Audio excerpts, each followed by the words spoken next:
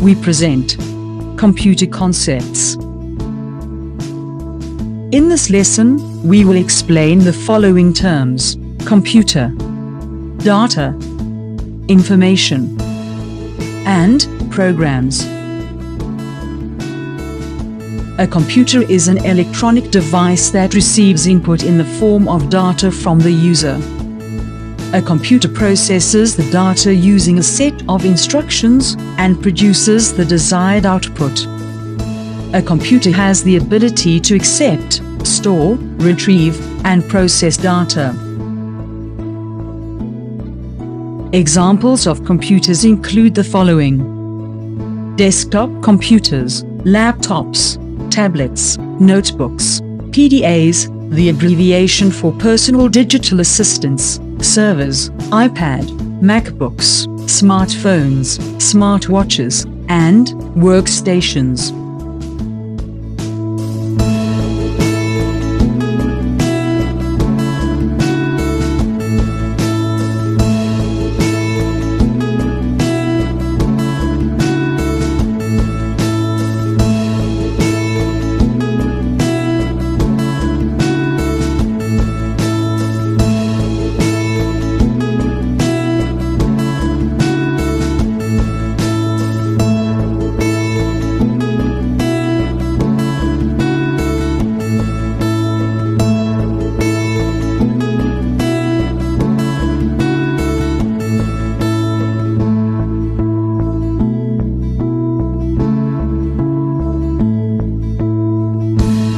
Data is a plural word.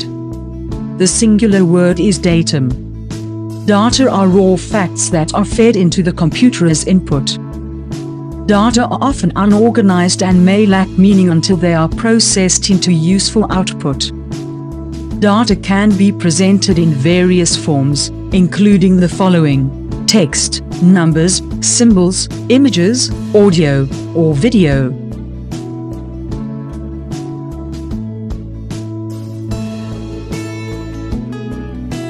Information refers to organized and meaningful data that has been processed. Information results from processing the input fed into a computer. Information is more useful and more comprehensible than data.